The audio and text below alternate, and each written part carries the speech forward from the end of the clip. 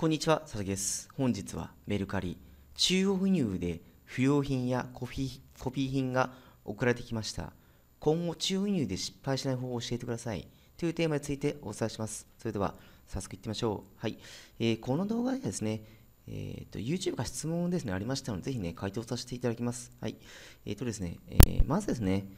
えーメルカリで売ってる商品ですが、これはですね、え各メーカーともの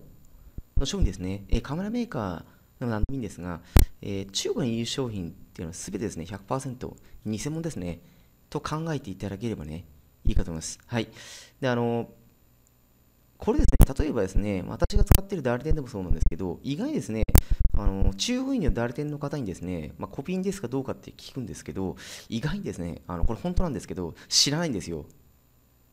あの中国人なので、日本の法律を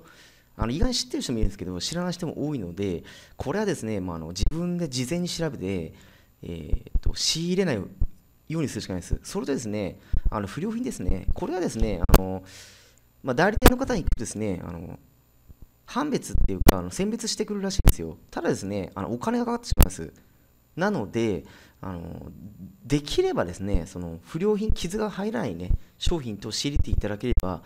問題ないかと思うんですが、今私が入れている商品はですね、まあ、品物にもよるんですけど、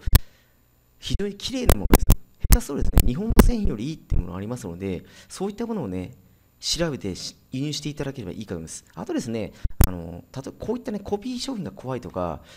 もしアカウントが取られるのが、ね、怖いって方は、ぜひね、こういったサイトがありますね。あのこれたこれはですねあの、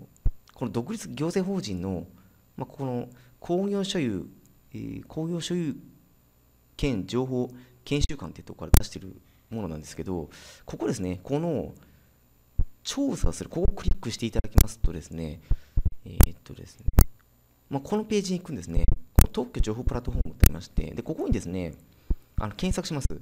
はい。で、あの、このですね、サイトなんですけど、あのつながりにくいですよ。本当につながらないんで、まあ、その点はね、あの、まあ、我慢できる方とか、